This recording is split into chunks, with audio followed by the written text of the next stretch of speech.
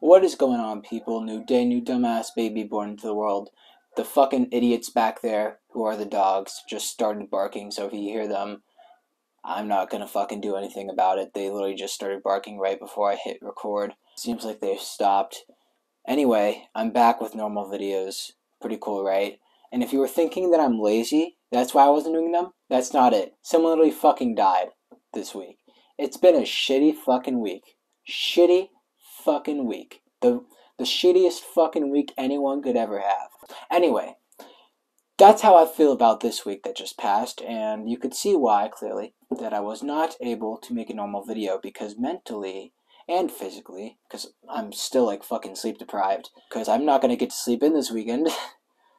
it's been pretty shitty. Anyway, we're back with a normal video, and this is kind of old news because I wrote this, I wrote the notes here for this before this whole fucking week started, you know? Anyway, EDP 445 might die. Uh, speaking of death, so EDP 445 has stated that he's suffering from kidney failure. And I've already made a video about EDP 445, and if you've if you know anything about him, you, you don't even need to watch my video about him.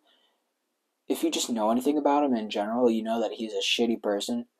So this creates a very complicated situation. He's a very controversial figure, obviously.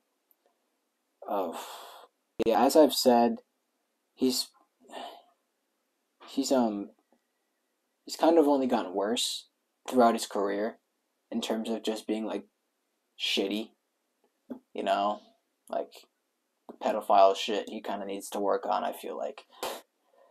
Anyway, so he's one of the most hated people on the internet, and I feel I feel like in general, you know, not many people really like him that much for good reason. And the kidney failure is stage five, so it's pretty serious.